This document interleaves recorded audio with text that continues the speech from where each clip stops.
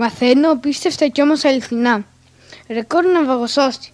Το Νοέμβρη του 1974 η πόλη του Τέξας και η Λέσχη Νούν, ο Μντίστ, έδωσε παράσημο στο, κοφάλ, στο κοφάλαλο ναυαγοσώσει Λέρο, Λερόου Κολόμπο γιατί από το 1917 μέχρι το θάνατό του έσωσε 907 άτομα που κινδύνευσαν να, να πνιγούν στα νερά του νησιού του Τέξας. Έμαθα για πίστευτα και όμως αληθινά.